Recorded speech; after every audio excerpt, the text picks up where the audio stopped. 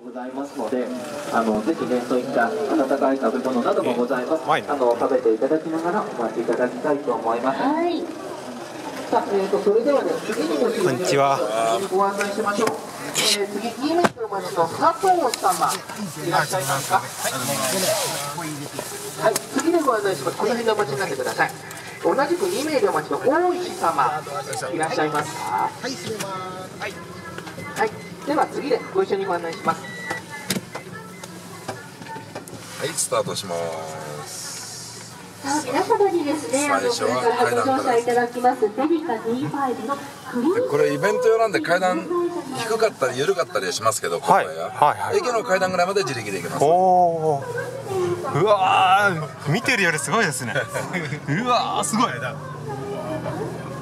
角しかね、タイヤが当たっていかないんですよね。へえすごいちょっとガタガタしますけどね。へえすごい階段前後ろがよく当たりませんねこれであの当たんないね。だいたい20度から2ぐらいですね、これでね、前後。要はね、バンパーとか後ろのね、うん前後のバンパーが。えで今度はこれ40センチの台の互い違いにした台ですね。モーグル地形になります。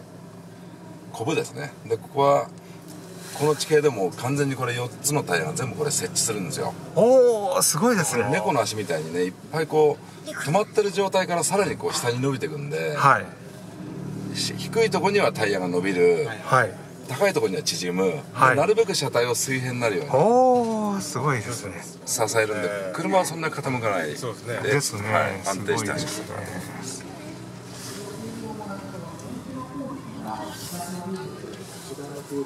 おいよいよですね。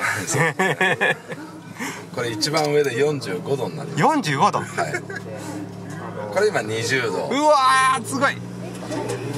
次です。おこれー30うわーすごい。うわ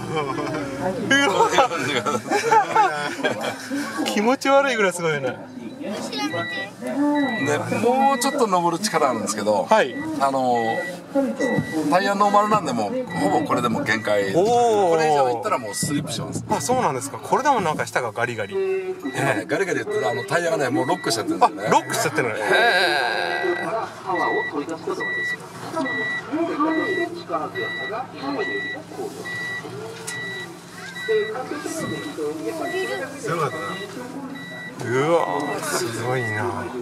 あれでもに登ってる時エンジン2000回転ですからね。あそうなんですか。すごいですね。ディーゼルってね低回転ではい。走れるので、はい。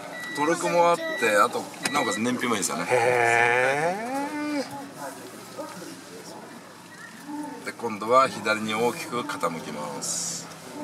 うわー普通だったらひっくり返りますよね。タイヤ1本置いて。えもうちょい行きますえうわでこれでね倒れるまでの半分ですあそうなんですか。倒れるまでの半分。これでも。はいそうですね。今これ20度なんですけどえ倒れるの45度、え45度までいくの、はい、無人で静止状態ですね。すごいねあブランブランです。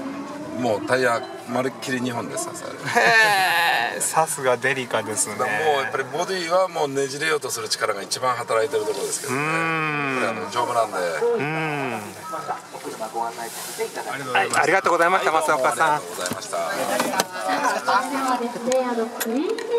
はいどうぞ。ね、ご案内をさせていただいております。三菱自動車の車にはね、今皆様にご乗車いただいております。デリカ D5 と、そしてね、あの坂の下に止まっております。パジェロにこのクリーンティーズエンジンが搭載を